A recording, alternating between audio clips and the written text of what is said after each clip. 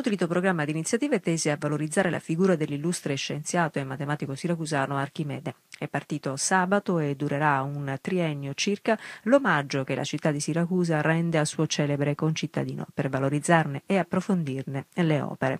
Sabato mattina appunto il convegno d'apertura delle celebrazioni archimedee in occasione dei 2300 anni dalla nascita del celebre scienziato siracusano. A fare gli onori di casa alla provincia regionale di Siracusa il presidente l'onorevole Nicola Bono, nonché presidente del comitato per le celebrazioni e l'intervento dell'assessore regionale beni culturali e dell'identità siciliana Maria Rita Sgarlata.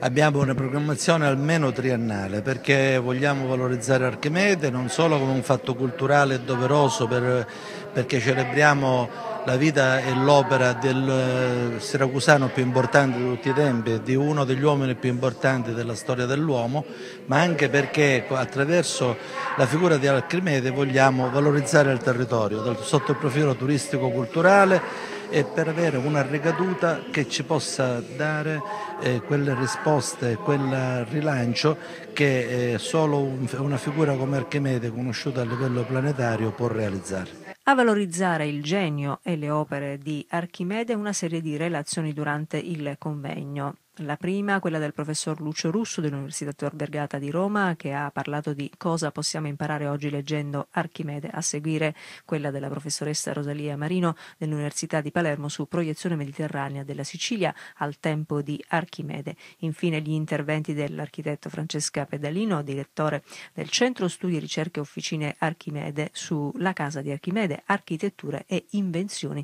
E infine la dottoressa Cettina Vozza, presidente del Genio Archimedeo su un monumento per Archimede. Io sono entrata diciamo, in queste celebrazioni archimedee quando erano già in corso, in itinere,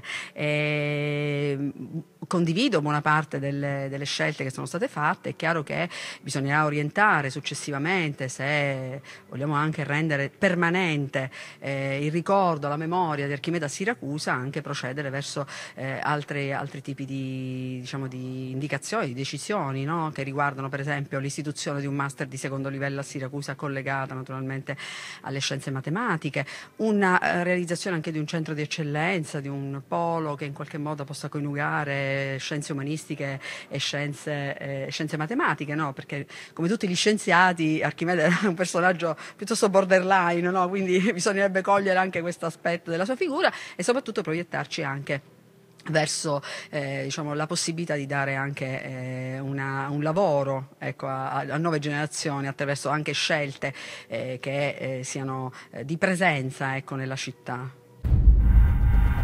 Zaranov TV Sekilla Web Television